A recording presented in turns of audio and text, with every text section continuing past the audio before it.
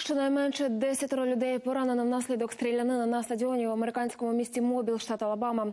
Інцидент стався після футбольного матчу між місцевими шкільними командами.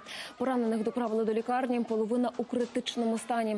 За попередніми даними, поліція затримала двох підозрюваних. Їх допитують. Чи саме вони здійняли стрілянину? Правоохоронці наразі не можуть підтвердити. Розслідування й досі триває. Ми також допитуємо свідків із стадіону. Поранено десятьох підлітків від 15 до 18 років. Це кричущий випадок для нашого міста. Ми такого не терпітимемо і зробимо все можливе, аби винуватці були притягнуті до відповідальності.